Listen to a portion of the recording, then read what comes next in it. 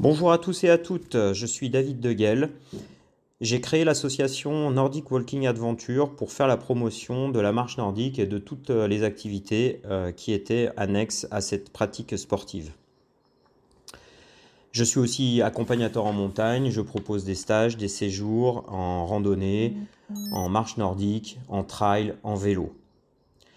Depuis 2022, j'anime le podcast Vagabondage nordique, dans lequel je propose aux marcheurs de faire connaître leurs endroits euh, qu'ils aiment pour aller pratiquer la marche nordique. Aujourd'hui, nous allons rencontrer deux invités, deux participantes à un nouvel événement qui aura lieu euh, dans la métropole de Bordeaux. Je vous souhaite une très bonne écoute et à très bientôt. Si vous voulez retrouver l'ensemble des épisodes de ce podcast, vous pouvez soit aller sur euh, Spotify, Deezer, mais aussi aller consulter la chaîne YouTube Nordic Walking Adventure et retrouver la saison 1 de ce podcast. À très bientôt et bonne marche.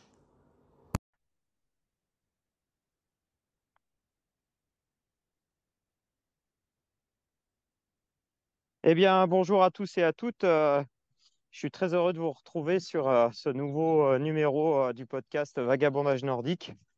Et avec, avec des invités, vous allez voir, c'est un, c'est un podcast un petit peu différent de celui d'habitude.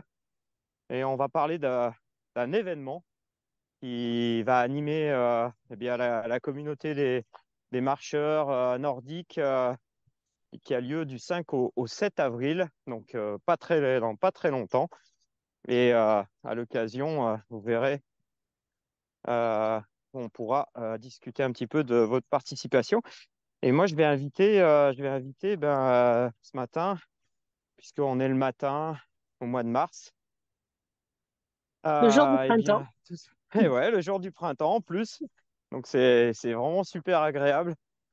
c'est vraiment le printemps là qui, qui va exploser dans toute sa, dans toute sa beauté euh, naturelle et vous allez, euh, vous allez pouvoir profiter maintenant des jours un peu plus longs aussi pour, euh, pour marcher nordique. Et ça sera l'occasion d'ailleurs lors de cet événement bah, de profiter d'un bel environnement qui est, qui est sur Bordeaux. Alors j'invite ce matin, je suis en compagnie de Joséphine et, et de Sabine. Je vais, je vais vous demander un petit peu toutes les deux de, de vous présenter, et puis de, nous dire un petit peu bah, euh, euh, quelle est un petit peu votre, votre pratique de la marche nordique. Je, sais que on a discuté un peu en amont, euh, vous n'en êtes pas au même, à la même, je dirais au même, au même stade. je crois qu'il y, y en a pour certaines, c'est une plutôt, on est en phase débutant ou en tout cas de découverte. Et puis, pour une autre, bah, c'est plus déjà plus confirmé, en tout cas, avec même une implication dans, dans, une, dans un club. Alors, je ne sais pas laquelle des deux veut commencer. Peut-être, euh, euh, je ne sais pas, comme vous voulez. Sabine, Joséphine. bah, je vais commencer. Alors, moi, voilà, moi, c'est Sabine. Alors, moi, j'ai 46 ans. Je, euh, j'habite, euh, j'habite Pessac, euh, cette belle région bordelaise où il fait bon vivre. J'ai commencé, moi, la marche nordique il y a tout juste un an, suite à une fracture complexe de la cheville avec une rééducation extrêmement compliquée, une opération assez lourde. mon, mon, chirurgien m'a autorisé à remarcher, à reprendre une activité douce. Donc la seule euh, activité douce qui m'est venue à, l'idée, c'est la marche. Mon mari est un très gros marcheur, puisqu'il fait euh, au moins euh, par week-end une vingtaine de kilomètres de façon très régulière et de façon très intensive. Hein. Il, a, il, a, une cadence que je n'arrive pas à suivre.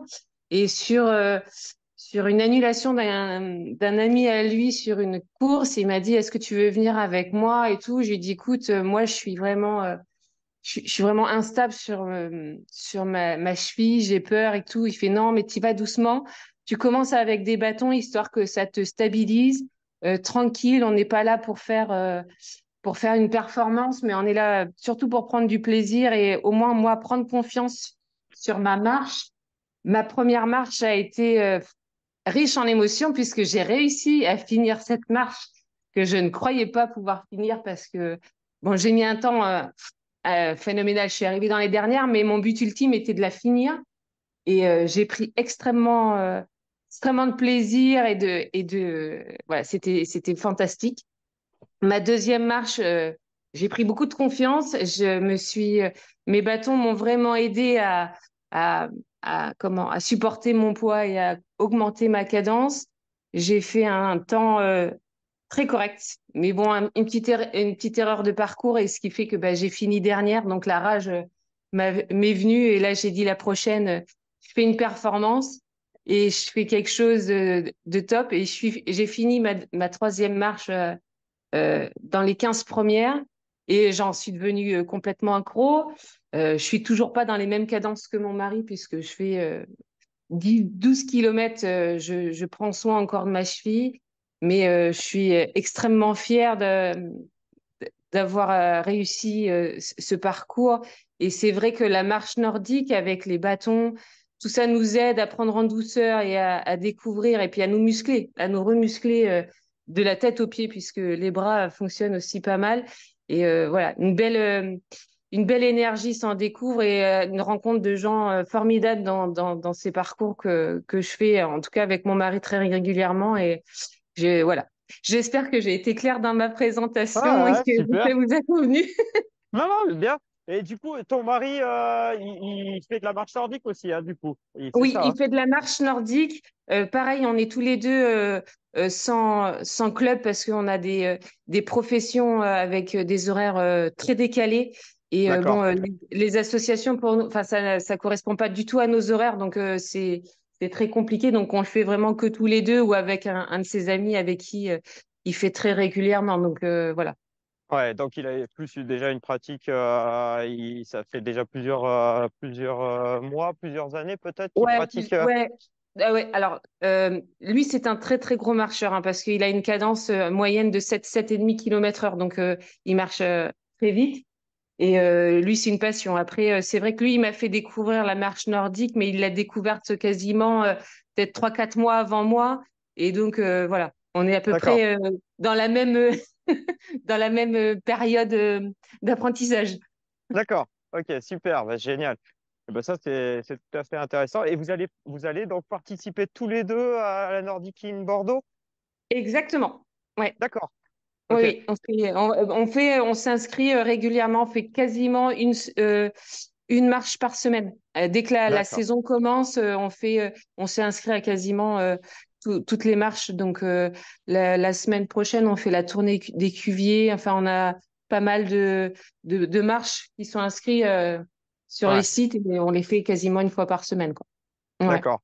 Et là, vous êtes inscrit sur la parce qu'il y a plusieurs distances. Hein. Il y a 7, 11, euh, il, y a, vraiment, euh, vraiment des. Il y, a, il y a tout un panel de marches là aujourd'hui qui est proposé dans le cadre de cet événement. Donc moi, ma, ma, ma, distance de prédilection, celle où je prends beaucoup de plaisir, c'est la 11 km parce que c'est voilà, c'est celle qui me va très bien. Après, j'ai vu les, les, circuits euh, supérieurs euh, du fait qu'avec ma cheville, euh, monter, descendre les escaliers sont extrêmement compliqués. Donc, dès qu'il y a un peu trop de marche, c'est pas pour moi. Mais la 11, quand j'ai vu le parcours, m'allait très bien. Ah ouais. Et, du coup, bon, ça, on en reparlera. Mais c'est aujourd'hui, quel est un petit peu, quel a été un peu l'élément déclencheur de participer à un tel événement?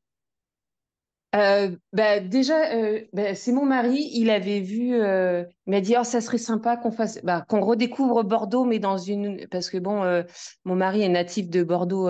Il est né sur Pessac, donc il, a 48 ans. Donc Bordeaux, il connaît comme sa poche. Il eh est chauffeur de bus, donc comment vous dire qu'il connaît vraiment beaucoup Bordeaux? Et il m'a dit, ça serait bien de le découvrir vraiment sur un, un un autre angle, prendre le temps de redécouvrir notre ville euh, avec ses aménagements. Et c'est vrai, en plus, je dis, bon, c'est des beaux temps, allons-y. Et puis, mhm. euh, on s'est dit, est-ce qu'on ferait pas la nocturne? Bon, bah, après, ça calait pas non plus dans nos, dans nos horaires euh, respectifs. Donc, on s'est dit, on va faire déjà la salle de journée. Et voilà. Donc, c'était vraiment. je crois que c'est mon mari qui l'a vu sur les réseaux. Je sais plus trop. Mais bon, lui, il s'occupe beaucoup des, réservations, donc c'est lui qui planifie toutes ces marches. Moi, je suis. Ok, génial. Joséphine, que tu, tu, tu, tu, peux, tu peux te présenter à ton tour? Avec plaisir. Donc, euh, Joséphine, j'ai 64 ans. Euh, bon, ça fait une dizaine d'années euh, à peu près que je fais de la marche nordique. j'ai fait différents clubs et en fait, mon histoire, c'est que voilà, il y a quelques années, je me disais, bon, la retraite approche, je suis assez sportive, j'avais envie de, de, préparer cette retraite avec une connotation sport beaucoup plus développée que le temps dont je disposais en, travaillant, quoi. Et, j'avais vu, j'ai eu un, exemple de, que j'ai vécu avec une amie qui, quelques années avant moi, a, créé une section marche nordique dans sa commune. Et j'ai vu ce développement de, de cette activité et, tout le bonheur qu'elle procurait à, aux adhérents qui, hmm. qui venaient euh, petit à petit euh, grossir le, euh, le nombre d'inscrits. Et ça m'a vraiment beaucoup plu, ce, ce, cette transmission de, de, de plaisir, de, de, de pratique, de, et voilà, c'est devenu un objectif pour moi. Je me suis dit, voilà, j'ai envie de, de, jouer ce rôle. Donc, je me suis préparée un an avant ma retraite. Je me, je me suis lancée dans la formation euh, avec la Fédération française d'athlétisme. Et, et, donc, euh, euh, je suis dans le club de la SPTT Toulouse. Ouais. Et depuis un an, un peu plus d'un an maintenant, je, voilà, j'ai repris le, euh, les rênes de, cette section hein, qui existait déjà, mais du coup, on, l'a animé euh, différemment. On a développé le nombre de séances, on a intégré des, séances euh, techniques, gainage, cardio. On, fait, on essaie de faire un panel un peu large. plusieurs, voilà, on marche quasiment tous les jours. Alors quand je dis on, c'est parce que j'ai lancé l'affaire et après j'ai réussi à trouver d'autres coachs qui sont venus renforcer mon, mon projet, quoi. Mmh. Euh, et donc, on est maintenant, on est trois, euh, bientôt quatre. Euh, parce qu'effectivement, l'objectif que j'avais de grossir le nombre d'adhérents sur, sur ce club, eh ben, ça, oui, c'est en train de, de, de, prendre forme. Mmh. là, on est, on est un peu plus de 50, alors qu'on était une vingtaine il y a deux ans. Quoi. Et, donc, c'est vraiment un grand bonheur. Là, ça fait un an que je suis à la retraite et je, du coup, je marche tous les jours euh, et, je prépare ces, ces, séances euh, euh, voilà, pour changer les lieux de rendez-vous, pour dynamiser ces, ces, séances, faire, faire des jeux, faire des, voilà, donner du, du, du, bonheur. Et quand, quand, quand les personnes me disent oh, quelle belle séance, on est bien, on se sent bien et tout, c'est génial, c'est génial. Je suis très très heureuse de, de, de ça quoi. Voilà, donc après, euh, après ben, moi perso, donc j'ai j'ai fait euh, au-delà de, ce, de, de cet aspect euh, d'animation, j'ai donc j'ai pratiqué, j'ai fait j'ai fait des j'ai fait pas mal de, de trail, de l'ultra. alors aussi, en, par exemple, je, je, repense à une, une, épreuve qui a été assez dure, c'était euh, un half marathon des sables. Donc, c'est des, des mmh. pratiques où on utilise mmh. les bâtons aussi. Hein, c'est pas mmh. spécifiquement de la marche nordique, mais on, non, on, non. Se, sert on se sert du bâton euh, quand même. Euh, et ça, cette épreuve-là, c'est là où j'ai découvert les, les, limites. enfin, cette sensation, j'avais écouté le, le, podcast précédent là, euh, ça m'a ça m'a refait penser à ça quoi c'est euh, Eric tu, tu, as écouté celui d'Eric ouais, ouais le dernier quand il disait euh, oui des fois quand trouver ses limites et, savoir qu'on est capable quand on croit qu'on n'en peut plus et on, est on trouve des ressources encore pour, pour continuer et s'accrocher et, aller au bout de quelque chose. Et effectivement, j'ai vécu, j'ai ressenti ça. Mmh. Et c'est cette, cette adrénaline, quoi. Le, fait, le, fait de, de, se dire, mais j'en peux plus, là, il faut que je m'arrête. Et puis, ben non, on peut pas s'arrêter parce que dans la configuration où on se trouve, il faut, faut finir. On est, on est euh, voilà, au milieu du désert et il faut, il faut aller au bout, quoi. Euh, il n'y a, pas de question de blessure ni rien. C'est vraiment le, le, aller chercher les ressources pour, euh, pour, pour s'accrocher et, et, finir son, son parcours. Et, ça, je, je, je, je l'ai découvert. et, et, du coup, voilà, j'aime de plus en plus, je me rends compte que j'aime de plus en plus les épreuves longues, quoi. Mmh. par exemple, l'an dernier, je, je m'étais inscrite à l'ultramarin en Bretagne, dans le Morbihan. J'avais fait. le 29 km et oui, voilà, c'est un plaisir de, de, Ça devient un plaisir, quoi. C'est une drogue, hein, de, de, mmh. dire, bon, j'ai envie de dépasser mes limites, voilà, faire des épreuves plus, plus longues, plus, plus développer l'endurance, quoi. Hein. Ah ouais? Tu vas peut-être aller à Fougères, du coup, peut-être? Non? Alors, non, non? J'ai pas prévu. Donc là, la prochaine, c'est Bordeaux, bien sûr. Bah ouais. C'est sur quelle, euh, quelle distance, du coup? Ah bah la, la plus longue, là, je crois que c'est 24, il me semble, qu'ils ont ouais, proposé. c'est ça. Ah ouais. ouais. J'ai pris 24. Euh, voilà, donc ça va être. Euh, alors après, je ne suis pas comme, comme Sabine de faire plein de courses tous les week-ends, tout ça, parce que j'aime bien, disons, à peu près une fois par mois, quoi, quand je vois, je vois autour de, de chez moi des, des, des des, rendez-vous possibles, je, je, les saisis, les occasions. Mais euh, voilà, comme je marche beaucoup dans la semaine déjà avec tous mes, tous, groupes là. Euh, et puis mon compagnon n'est pas marcheur, il, fait, il court un peu, tout ça, mais euh, il n'est pas. Alors voilà, partir. Déjà que le, dans la semaine, on ne se voit pas beaucoup. Partir le week-end, faire, faire des, des, des, des compètes de, de marche nordique, genre, j'en fais pas toutes les semaines comme, comme Sabine. Quoi. Je, mais euh, voilà, une fois, par, une fois par mois à peu près, euh, dans, quand c'est pas trop trop loin de Toulouse. Mmh. Et là, Bordeaux, Bordeaux, je... alors pour moi, Bordeaux, c'est, c'est, c'est le grand bonheur d'avoir cette occasion de venir à Bordeaux. Quand j'ai, j'ai vu cette, euh, cette manifestation se préparer, j'ai, j'ai saisi toute l'occasion de m'inscrire rapidement. j'aime beaucoup cette ville. j'y suis venue plusieurs fois. Mon fils a été étudiant à Bordeaux et ouais, c'est une ville qui s'est transformée euh, de, façon remarquable et ça me plaît beaucoup de, de, revenir passer euh, quelques jours. Euh, voilà, mmh. je trouve que c'est sympa d'organiser ce genre de, enfin de, sur, sur, un environnement urbain. Quoi. Je, trouve que c'est chouette. Et d'ailleurs, bah, du coup, je me suis lancée aussi dans, un, dans ce genre de projet, alors beaucoup plus modestement hein, sur Toulouse on prépare un, événement, première édition euh, pour le 9 juin. Là, euh, on va faire, euh, on va faire quelques, quelques distances de marche nordique dans Toulouse. Quoi. D'accord, ok. Donc associer aujourd'hui la marche nordique et la découverte du patrimoine, parce que c'est ce que aujourd'hui propose Nordic, Nordic in Bordeaux, et, et, qui est une déclinaison d'un événement qui, qui, avait, qui a, qui, a, lieu aussi sur Lyon au mois d'octobre, le Nordic in Lyon, qui, ça fait plusieurs années qui, que les organisateurs euh, mettent en place cet événement sur, euh, sur Lyon. Mais c'est mm. vrai que ce qu'on a toujours apprécié, ce qu'on apprécie énormément aussi en marche nordique, c'est effectivement, on peut marcher de façon euh, compétitive ou de façon plus en loisir ou même en, en, dans un optique de santé, de réathlétisation, de rééducation. Mais ce qu'on aime aussi, c'est découvrir des choses parce que euh, la marche nordique euh, euh, offre ça aussi. Et là, c'est là c'est le cas, hein, puisque le cœur de Bordeaux est classé monument au, patrimoine mondial de l'UNESCO. Mmh tout, ce qui est autour de, de, la, de la cathédrale, tout ce qui est au centre, au cœur, au plein cœur de, de Bordeaux. Et vous avez, vous avez là une belle, un bel espace là, pour, euh, pour découvrir des choses.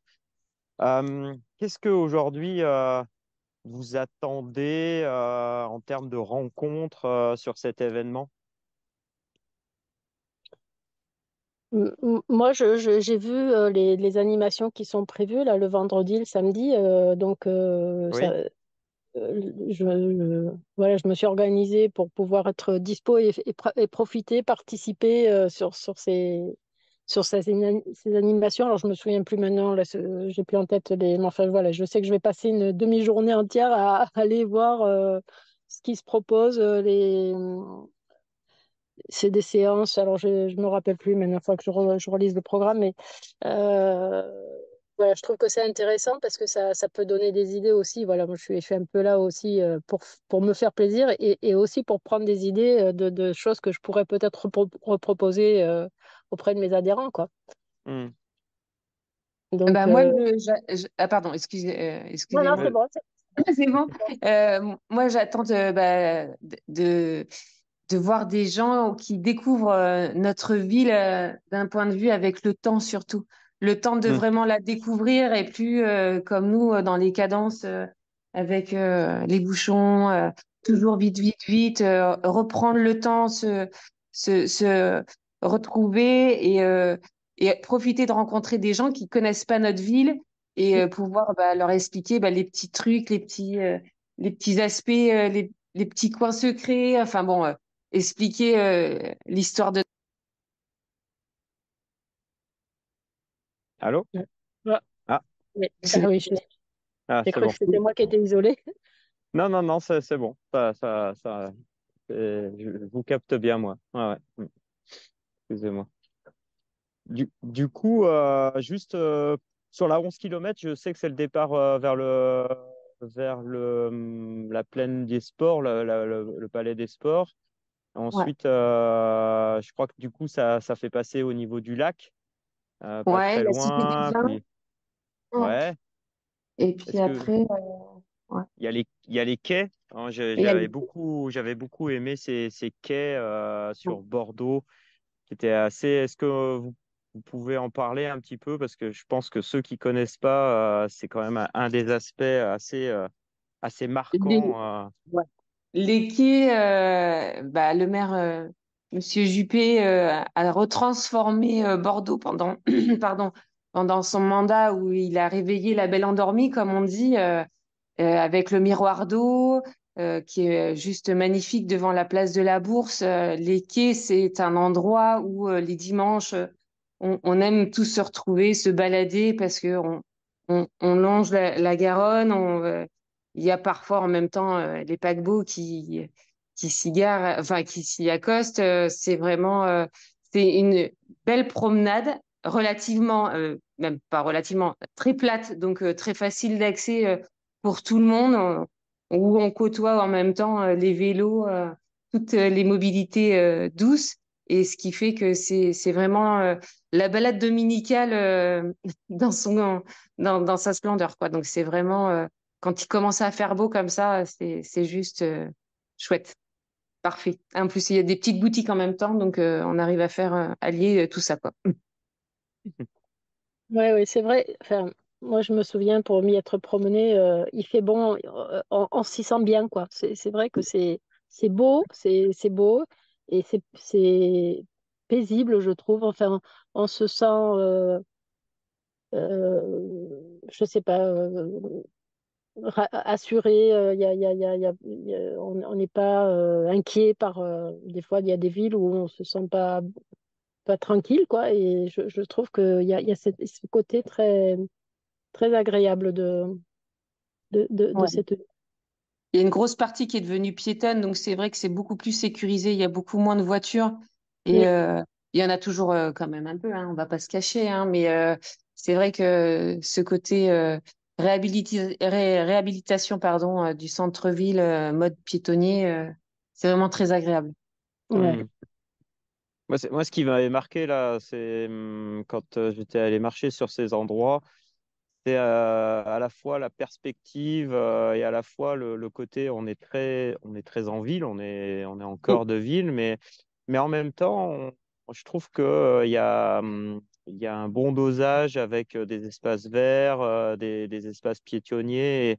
Et, j'avais trouvé que c'était, ça donnait aussi un caractère un petit peu, bah, du coup, nature, apaisé. Et donc, voilà, on est en plein cœur de ville, mais en même temps, on est dans un milieu aussi, on sent qu'on est accueilli. et ça, j'avais trouvé ça vraiment vraiment très très fort par rapport à, à, ce, à, ces, ces, ces endroits-là où vous allez aller marcher.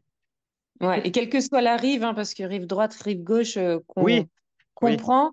Euh, on a, euh, alors, ça va pas être la même balade, c'est toujours aussi accessible, c'est toujours aussi plat, mais le point de vue est différent et on voit la ville euh, complètement différemment là où on se trouve et c'est franchement, c'est très apaisant. Hein. Il nous arrive aussi avec mon mari de se poser et puis là, on est, là et on observe et puis on, prend le temps de, bah, de prendre le temps. C'est le cas de le dire et c'est vrai que c'est très agréable. Mmh. Et puis, vous avez, il y a hum, euh, de, souvenirs aussi euh, de ce que il y avait des, navettes euh, fluviales où on peut, on peut couper, on peut traverser, se permettre de, d'aller d'un point à l'autre en, utilisant en utilisant la, la, Garonne pour se déplacer. Oui. ça, j'avais trouvé ça vraiment très, très chouette. Et puis, il y a un endroit où vous allez aller aussi, passer, en tout cas pas très loin, c'est la maison, je crois que c'est le, musée des vins, hein, c'est ça qui est la Cité, la cité des, vins?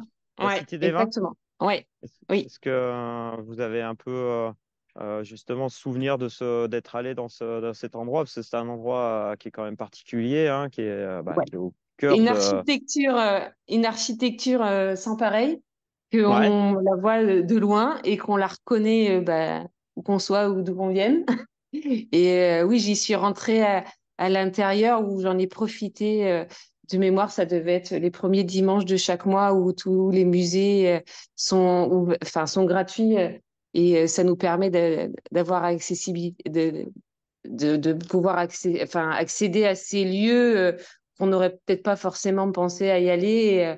Et, c'est vraiment c'est, c'est, je m'y attendais pas moi à, cette cité du vin. Euh, en tout cas, la découverte de cet endroit est vraiment fascinant et c'est, euh, c'est vraiment un lieu où, où il faut s'arrêter quoi. C'est, euh, c'est, c'est très atypique et franchement, c'est un lieu où il faut s'arrêter. en tout cas, c'est sûr qu'avec les, les, les, marches que vous allez faire, vous allez, vous allez découvrir cet endroit et ce, ce, bah, ce monument, hein, parce que c'est quand même c'est, on va pas spolier, mais vous allez, enfin, vous verrez. Et puis, je pense que vous pouvez regarder sur les, sur les photos. Mais c'est vrai que c'est, c'est quand même un endroit assez particulier et qui est, qui est bien intégré, qui est, qui est proche de la Garonne. Oui. C'est, c'est vraiment, c'est vraiment très, très, très sympa. peut-être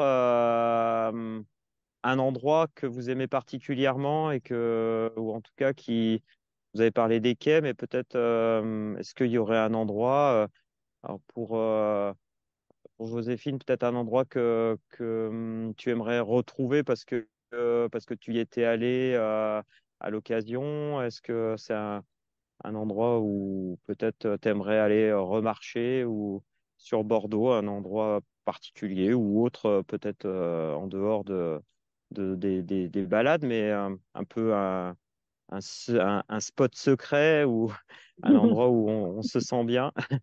Non, j'ai pas souvenir de. J'ai pas, j'ai pas, j'ai pas mémorisé un lieu euh, secret où.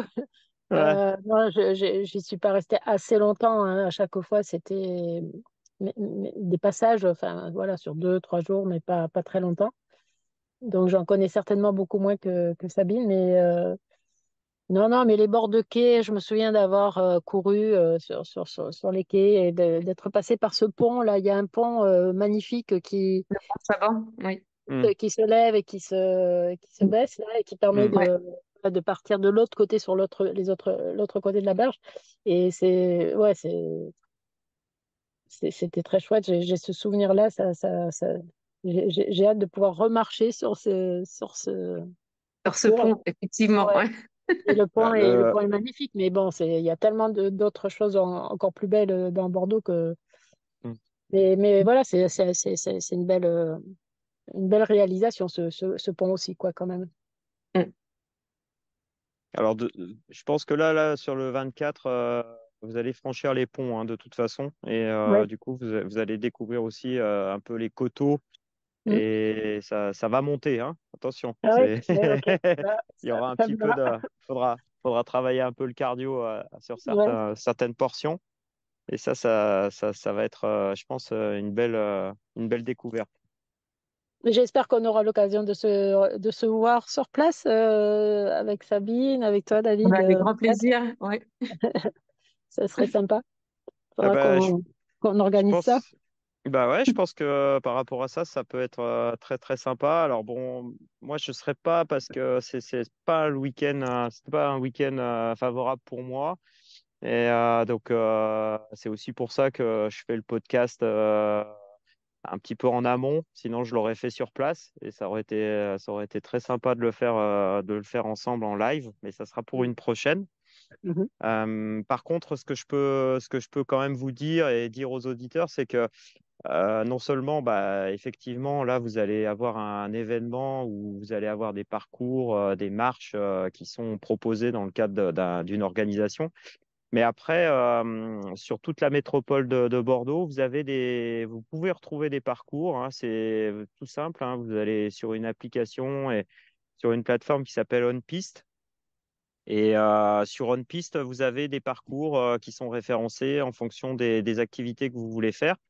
Donc là, vous, allez choisir la marche nordique, mais vous pouvez choisir le trail, vous pouvez choisir le, vélo, le gravel.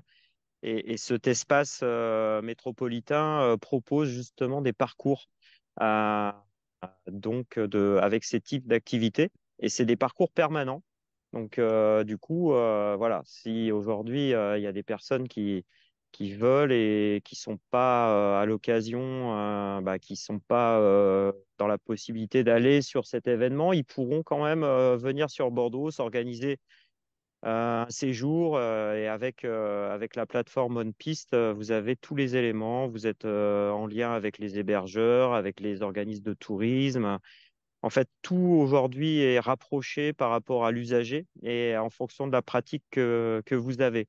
Donc, c'est quand, même un, quand même un super outil pour organiser son séjour, qu'on soit seul ou en, ou en club. Donc, je vous invite à télécharger cette application sur votre, sur votre téléphone et mmh c'est bien. Il y a un suivi GPS, vous avez un guidage. Donc, vous avez tous les éléments pour choisir les distances. Vous avez des couleurs, des, des, couleurs avec les niveaux de difficulté. Ça va du vert au noir.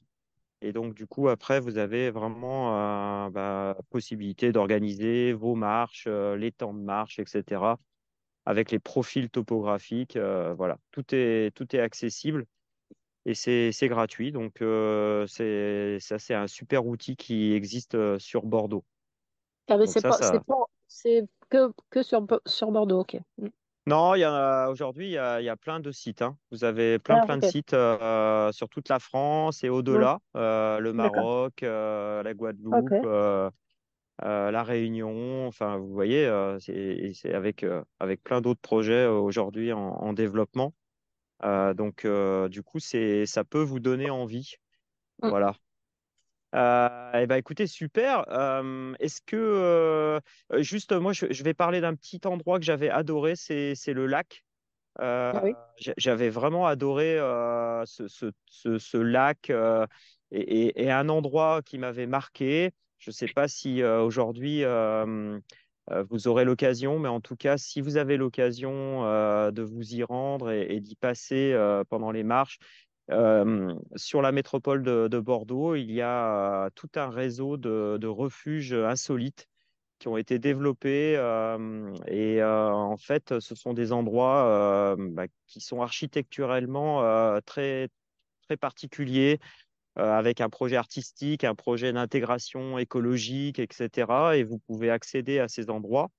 Et il y a un endroit, justement, il y a, un de ces refuges qui est, euh, qui est au bord du lac. Et j'avais vraiment, j'avais vraiment adoré cet endroit. Donc voilà, si, si, vous y passez, euh, faites, un petit stop. C'est vraiment un bel endroit. Hmm.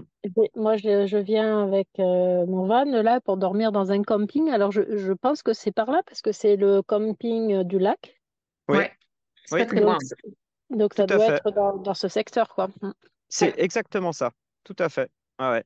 Et c'est très, ça m'a l'air bien, bien sympa parce qu'il y a, depuis là, on peut prendre euh, les transports. Il y a, je crois que c'est euh, il me semble que c'est le tram qui passe. Euh, oui, vous avez le tram, qui est... Il y a le tram qui passe ici. Euh, vous avez le stade qui est pas très loin de l'autre côté. Mhm. Et pas très loin du stade, vous avez encore un autre endroit que j'avais vraiment apprécié à la fois pour marcher nordique, mais aussi même pour, pour faire un petit peu de parenthèse et presque un, endroit très méditatif. Il y a un, il y a un parc où il y a des, il y a des fleurs. C'est pas, c'est pas. Le, le, parc des Floralies. C'est ça, le parc des Floralies. C'est exactement ça. J'adore cet endroit. Hein. je ne sais, pas ce que, tu, ce que tu en penses, mais c'est. il, est, magnifique. Ça fait. Alors là, en plus, sur la période début de printemps, c'est juste. voilà. les explosions de couleurs, tout, la nature qui se réveille, c'est, il est magnifique. C'est vrai que c'est un endroit qui est pas trop loin du camping du lac et c'est. S'il faut y aller, il faut y aller. C'est pas très très loin et c'est vraiment super beau. Floralie. le, parc, des Floralie, il est juste à côté du stade. Ok. Vous, allez, vous allez vous régaler. En tout cas, bah, je pense que. Est-ce que vous auriez des petites choses à rajouter? Déjà, bah, du coup, vous allez vous donner rendez-vous, euh, vous retrouver, du coup, euh, bah, place, euh, sur le départ, en tout cas. vous n'êtes pas sur les mêmes distances, mais en tout cas, vous pourrez, vous, pourrez vous saluer et puis faire connaissance physiquement. C'est déjà, une, déjà une belle chose. Ouais. C'est un des buts hein, du, podcast, euh, je le rappelle, parce qu'aujourd'hui, c'est vraiment euh, le podcast dédié euh, qui, est vraiment là pour rapprocher à la fois les marcheurs, toute la communauté de la marche nordique, et puis les destinations, les endroits où on peut avoir envie d'aller et d'aller rencontrer aussi les marcheurs qui proposent ces, ces, endroits. Donc, c'est vrai que bah, déjà, on en est quasiment au 28e épisode.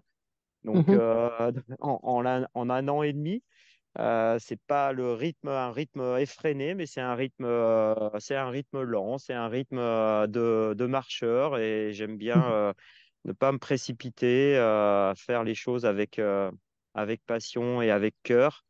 Et mmh. voilà, c'est comme ce matin, vous retrouvez, discuter de marche nordique, discuter des endroits et de comment on aime marcher. Donc, je vous remercie grandement de, de ce, de ce partage. Euh, merci pour cette invitation, en tout cas. Oui, merci beaucoup. Oui. C'est très sympa d'avoir une occasion de, de, de, partager des choses. Ouais. Mm. Et puis peut-être, euh, du coup, Joséphine, tu nous, en diras plus quand tu, tu, voudras, si tu le veux.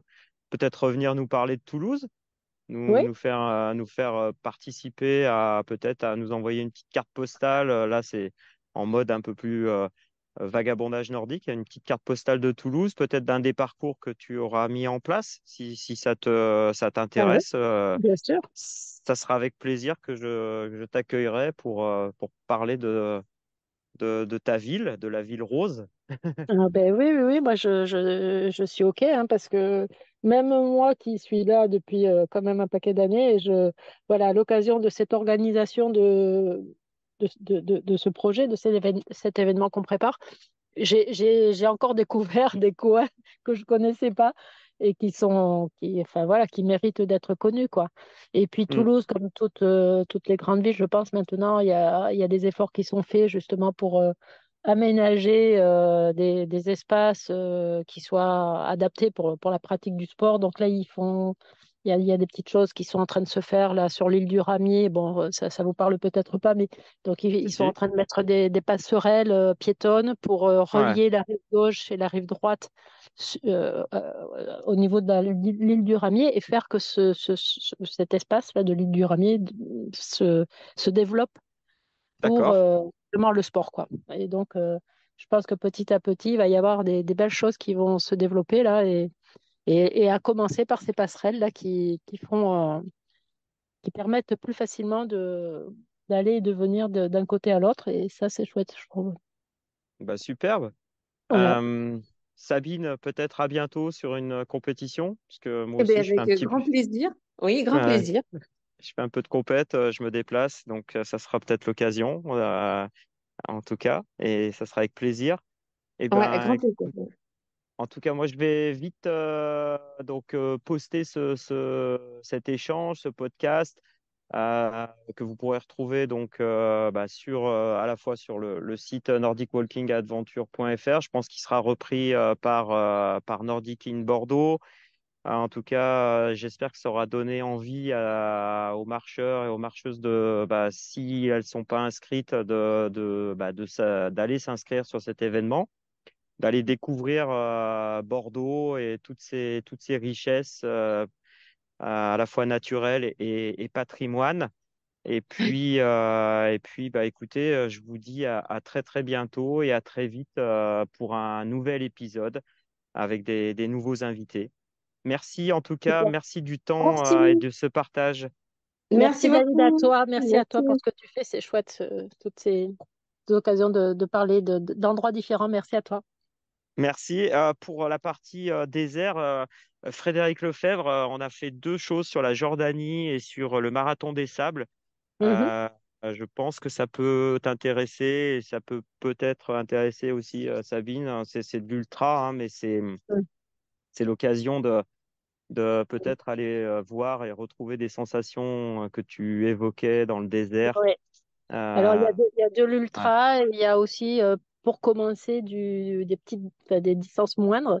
Et moi, je m'étais lancée dans ce, dans ce créneau. J'avais choisi le half marathon des sables. Alors, celui que j'avais choisi, c'était au Pérou. Et, et, ça, je sais que voilà, ça, ça, ça existe, hein, ça, se, ça continue à être organisé à différents endroits, des half marathon des sables. Donc, c'est des distances déjà voilà, un peu plus. Euh, pour commencer, c'est déjà pas mal. Quoi. oui, oui. Mmh. Bah, écoute, je vais, je vais rien dévoiler, mais en 2025, euh, en 2025, sache que je pars, euh, je pars avec, euh, en tout cas, je vais inviter la communauté à me rejoindre sur un projet justement pour marcher au Maroc et dans le ah, désert super, en mode, en mode ultra. Et ah ça sera un nouveau, un nouveau séjour. Donc ah. voilà, je j'en redirai plus, mais en tout cas, ça sera, ça sera sur mon site. Voilà. Ok, bah ça, ça peut m'intéresser. Ok, super. Eh ben, au plaisir. Marchez bien sur ce bel événement du 5 au 7 avril sur Nordic in Bordeaux. Tenez-moi au courant et avec plaisir, euh, je veux bien une petite photo de vous deux euh, euh, sur la place de la Bourse ou vers, sur les quais. Sur les quais, ça sera, ça sera très chouette. en tout cas, n'hésitez pas. Je vous souhaite oh. une très bonne fin de matinée, un très grand merci de votre partage et puis je vous dis, je vous dis à très, à très bientôt. À bientôt. À bientôt. Au revoir. Au revoir.